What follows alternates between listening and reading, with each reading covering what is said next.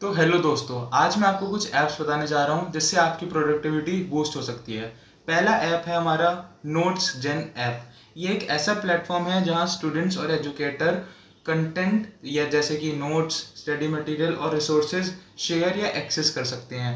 ये एक market place की तरह होता है, जहाँ पर स्टूडेंट्स अपने नोट्स अपलोड करते हैं, उन्हें बेचते हैं। कोई और बंदा या कोई और स्टूडेंट उन नोट्स को आके खरीद लेता है। इससे आप पैसे भी कमा सकते हैं। तो हमारी लिस्ट में दूसरा ऐप है नोशन नोशन एक ऐसा all in one work space है, जिसे आप कस्टमाइज कर सकते हैं अलग अलग टास्क के लिए। इसे note taking project planning task tracking और भी काम के लिए इस्तेमाल किया जा सकता है। ये ऐप आपके नोट्स टास्क और डॉक्यूमेंट्स को एक जगह ऑर्गेनाइज करने में मदद करेगा। तीसरा ऐप है फॉरेस्ट फॉरेस्ट एक ऐसा ऐप है जो आपकी कंसंट्रेशन बढ़ाने में मदद करता है। इसमें आप टाइमर सेट करके काम कर सकते हैं।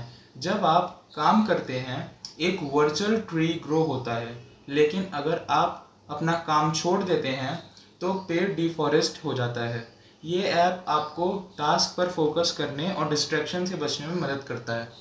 तो लास्ट ऐप है तो लास्ट ऐप है एवर नोट एवर नोट एक नोट टेकिंग ऐप है, जो आपके नोट्स को अलग अलग डिवाइसेस में सिंक करने में मदद करता है।